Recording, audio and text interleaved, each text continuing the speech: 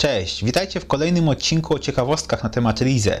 Dzisiaj zastanowimy się, czy podziemny kompleks drążony w górach Sowich jest rzeczywiście olbrzymem.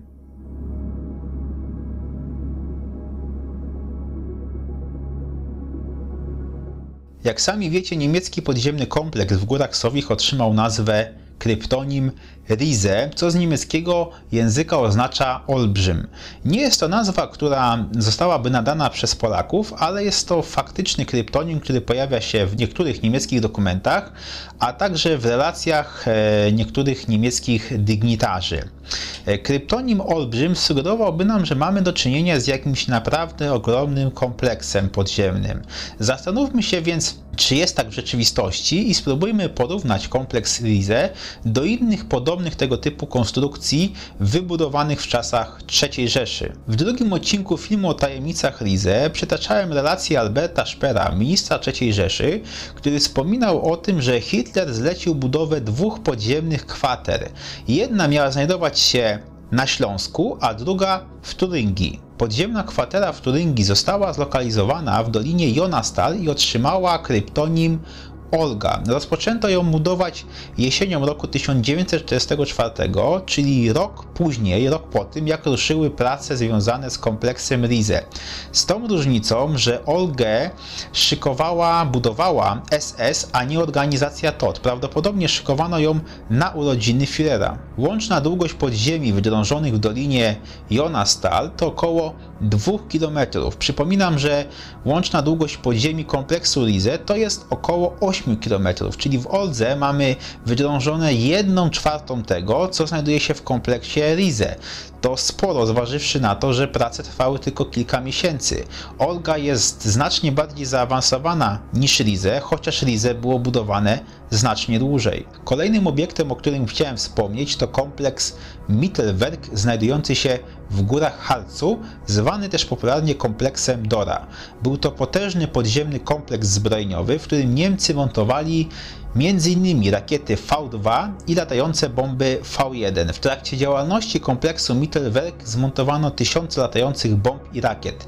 Decyzja o przeniesieniu montowni pod ziemię w górach Harcu zapadła jesienią 1943 roku.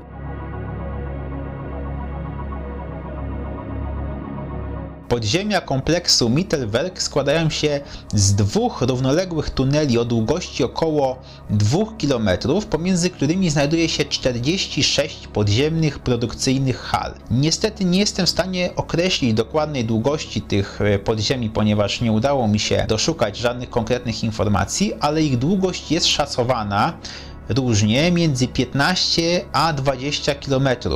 Oczywiście kompleks był zaplanowany również do rozbudowy. Kolejnym obiektem, o którym warto wspomnieć to Ostwal, zwany popularnie międzyrzeckim rejonem umocnionym w skrócie MRU. Był to potężny podziemny i naziemny kompleks fortyfikacji, który budowany był na wschodnich częściach III Rzeszy, które dzisiaj znajdują się na terenie Polski.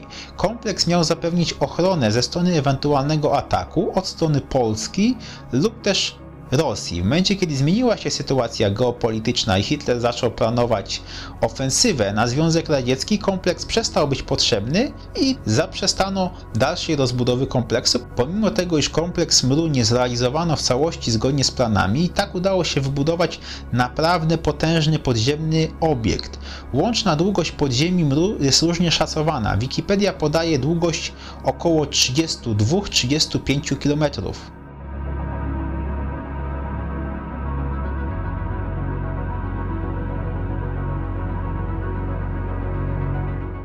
Tak więc teraz zastanówmy się. Wiemy, że łączna długość kompleksu Rize to jest około 8 km. Łączna długość wszystkich siedmiu podziemnych kompleksów. E, Olga, budowana przez kilka miesięcy, to 2 km.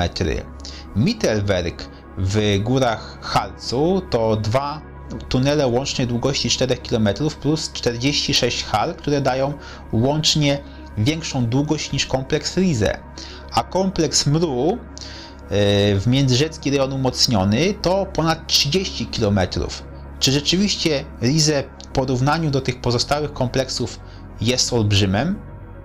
W pewnym stopniu mamy do czynienia z mitem kompleksu Rize, z mitem olbrzyma, a wpływ na to też ma rozległość prac, na których był prowadzony. Kompleks Rize składa się z siedmiu oddzielnych kompleksów rozłożonych na dość sporym obszarze. Przy pierwszym spojrzeniu wydaje się więc on mieć naprawdę spore długości, ale przy bliższym przyjrzeniu się kompleksowi i porównaniu go z innymi podziemiami III Rzeszy, mit w pewnym stopniu pryska, chyba że nie znamy jeszcze wszystkiego.